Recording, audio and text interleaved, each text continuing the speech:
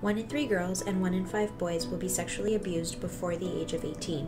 The devastating impact of childhood sexual abuse includes anxiety, depression, acting out, nightmares, flashbacks, addictions, and other mental health issues. Since 1998, the Gatehouse has been a safe space for survivors of childhood sexual abuse to tell their stories through peer to peer support groups for adult survivors, as well as a space for children to disclose to police and other child welfare agencies. Your support will help us to continue offering these life saving programs.